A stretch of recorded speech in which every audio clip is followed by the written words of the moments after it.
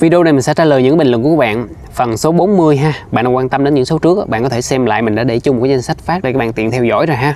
Bình luận đầu tiên là của bạn Thắng Phạm 5962 Điện thoại của mình bị hư màn hình Sao mình cắm mà nó không lên?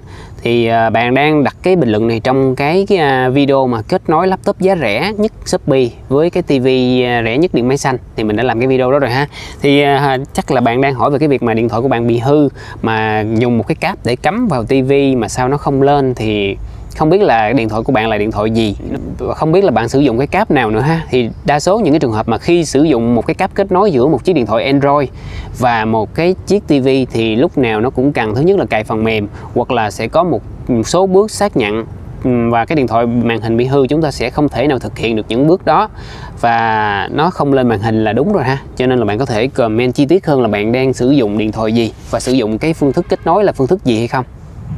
Bình luận tiếp theo là của bạn Trần Thịnh 3190 Oppo F9 em kết nối rồi mà vẫn không được. Tức là bạn đang hỏi về cái việc mà chiếc điện thoại của bạn là Oppo F9 mà bạn kết nối với lại cái miro không dây thì trước đây mình đã làm một cái video hướng dẫn các bạn cái cách kết nối giữa điện thoại Oppo, Realme cho những chiếc miro không dây ha. Tại vì các bạn phải bật cái tính năng mà OTG ở trên cái à, điện thoại lên. Các bạn lưu ý là cái tính năng OTG trên các điện thoại Realme, Oppo khi mà các bạn đã ngừng kết nối với cái mic không dây rồi thì 10 phút sau thì cái tính năng này nó tự tắt cho nên là cái lần kết nối, những lần kết nối tiếp theo nữa các bạn phải vào và bật lên mới kết nối được ha. Thì không biết cái trường hợp này là bạn đã kết nối được rồi và sau đó bạn ờ, kết nối lần thứ hai, vài bữa sau bạn kết nối lần thứ hai không được ờ, hay là bạn làm theo cái thao tác trong video rồi nhưng mà vẫn không kết nối được thì bạn có thể bình luận chi tiết hơn ha. Rồi bình luận tiếp theo là của bạn à, Camel 4850 Mặt kính Nokia e O72 trầy nhiều có cách nào giảm bớt không bạn? Ừ, e O72 là một thiết bị được trang bị à, nếu mà cái mặt kính riêng của nó là kính hạn chế trầy xước ha thì nó cũng tương tự như kính cường lực. Uhm, và nó rất rất là khó rất là khó bị trầy. Nhưng mà nó bị trầy rồi thì à, mình thì không có cái phương pháp nào để khắc phục được. Không lẽ là chỉ có thể à, có những cái dụng cụ nào đó để mài nó hay sao đó thì mình không biết ha. Thì uh, khả năng thì chúng ta không có cái phương pháp nào để khắc phục được cái tình trạng này nha bạn. Lượng tiếp theo là của bạn ảo dương 9048 làm cách nào để kết nối 4G trên điện thoại Nokia 6300 4G vậy bạn? Thì nếu như bạn đang sử dụng cái chiếc điện thoại Nokia 6300 4G thì bạn chỉ cần gắn cái sim có hỗ trợ 4G và có một, và có đăng ký một cái gói cước 4G và bật dữ liệu di động lên thôi bạn. Bạn có thể xem lại cái video đánh giá chi tiết chiếc điện thoại Nokia 6300 4G của mình á chỉ cần bật lên và có cái sim 4G được cài đặt sẵn à, một cái gói cước 4G là có thể sử dụng để lên mạng hoặc là phát wifi bình thường thôi ha bình luận tiếp theo là của bạn Kiệt Nguyễn 633 Máy điện thoại này dùng app ngân hàng được không bạn? Tức là bạn đang hỏi về cái chiếc Nokia 215 4G có dùng được app ngân hàng hay không là không nha bạn. Kể cả những cái việc mà nó chạy những cái file Java đơn giản thôi, nó đã không thể nào cài đặt được rồi. Huống chi là những cái app ngân hàng phức tạp ha. Bình luận tiếp theo là của bạn user À, WZ2DG5CE1S cài Java cho mấy máy S40 mà cảm ứng như Nokia 202 hay là ASA 300 được không bạn? Là được nha bạn. Và những chiếc điện thoại ASA cảm ứng này, nó sẽ có những cái phiên bản Java riêng cho nó ha tối ưu tốt hơn trên cái màn hình cảm ứng nhưng mà mình nghĩ là những cái thiết bị Nokia S40 mà lai giữa bàn phím và vừa cảm ứng chơi game nó không ổn tí nào ha bạn nào mà cần mua thiết bị chơi game thì nên cân nhắc là đừng mua, đừng chọn những thiết bị mà vừa cảm ứng vừa bàn phím ha và những thiết bị này thì mình cảm giác nó rất là tệ luôn, rất tệ lần tiếp theo là của bạn à, Anime Việt Sub 2869 Nokia cổ giờ còn dùng được mạng không nhỉ? Nghe tin nhà mạng cắt 2G không biết giờ ra sao anh? Cho đến thời điểm hiện tại, cái video này lên sóng thì sóng 2G tại khu vực của mình thì chưa bị cắt ha, vẫn còn sử dụng được bình thường.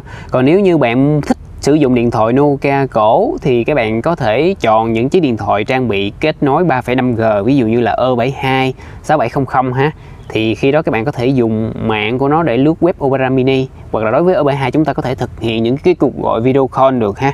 Mình đã làm những cái video tương tự như vậy rồi. Bạn nào quan tâm thì chúng ta có thể xem lại ha. Và ở thời điểm hiện tại thì không nên mua những thiết bị Nokia cổ mà chỉ có kết nối 2G thôi. Nó sẽ không sử dụng được lâu dài bình luận tiếp theo là của bạn GM Văn 1554 anh ơi Mattel Easy 10 100 có hỗ trợ mạng di động không anh? Là có nha, có hỗ trợ mạng di động, nhưng mà chúng ta sẽ không làm gì được đối với cái mạng này hết ha. Rồi bình luận tiếp theo là của bạn à, Kenzo 1989 lo Nokia C5 nó lớn không nhỉ? Là mình thấy nó vừa đủ nghe ha nó bình thường nó không có quá lớn. Ví dụ như những chiếc điện thoại Nokia mà có lo hay ví dụ như Nokia 6233 mình cảm thấy là cái lo nó cực kỳ lớn ha.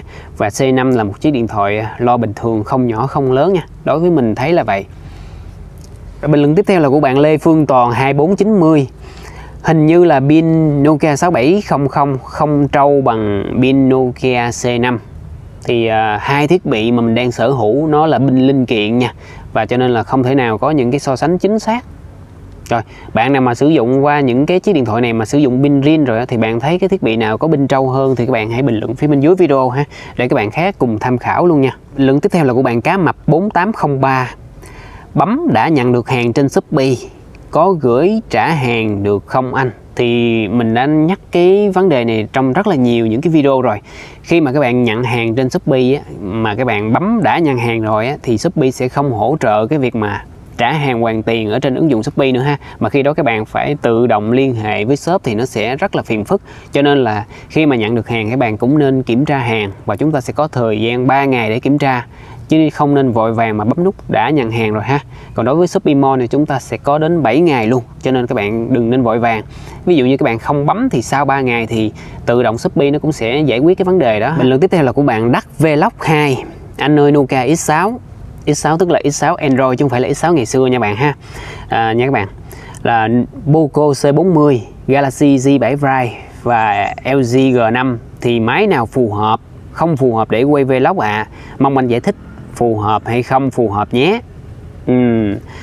nếu mà bốn cái thiết bị mà bạn đưa vào ở thời điểm hiện tại á, mà quay vlog hả thì mình nghĩ là trong bốn thiết bị này chắc là không còn cái sự lựa chọn nào hết thì trong bốn thiết bị này á, thì mình nghĩ là BOCO C40 nó sẽ phù hợp à. thứ nhất nó sẽ có bình trâu LG G5 thì các bạn có một cái vấn đề nữa là thiết kế modem á, cho nên là khi mà các bạn kết nối với những cái micro rời bên ngoài á, mình thấy là cái âm thanh nó cho ra không hay nha cho bạn lưu ý nha không hay khi mà gắn mic rồi à. chúng ta có khả năng quay video 4K có cái camera góc siêu rộng 135 độ nhưng mà ở thời điểm hiện tại thì pin của nó hả rất là mau hết luôn sẽ không phù hợp với các bạn mà quay video thời gian lâu dài ha nhưng mà nếu như trong tay các bạn hiện tại đang có một trong bốn thiết bị này và không có điều kiện để mua những chiếc smartphone khác thì cũng có thể tận dụng bốn thiết bị này à, để quay vlog à, tất nhiên là khi mà chúng ta mới làm thì chúng ta cứ tập tành từ từ thôi.